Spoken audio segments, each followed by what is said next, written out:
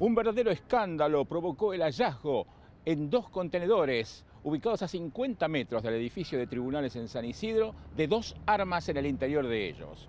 Pero lo peor de todo esto es que los vecinos ponen de manifiesto que luego de este hallazgo, varios cartoneros volvieron los días siguientes a revolver estos tachos y se encontraron allí con chalecos antibalas y bolsas con municiones, todos estos elementos que deberían estar guardados en depósito en el ámbito judicial.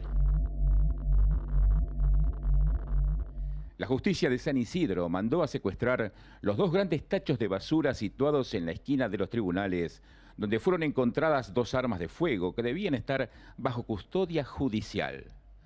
Varios testigos dijeron que era habitual que se arrojaran en ambos contenedores objetos vinculados con expedientes penales.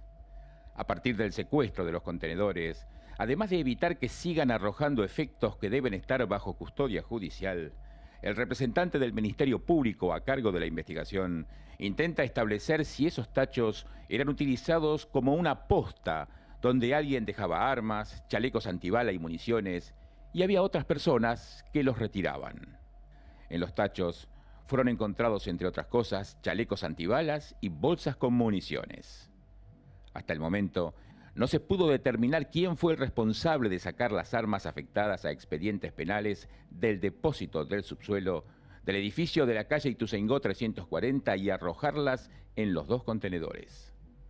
El escándalo involucra a un grupo de no más de dos funcionarios judiciales que tienen a su cargo la responsabilidad operativa del edificio y a tres empleados. Hasta el momento, ninguno de los investigadores pudo establecer quién fue el responsable de trasladar esos efectos desde el recinto del subsuelo hasta los tachos de basura instalados a 20 metros.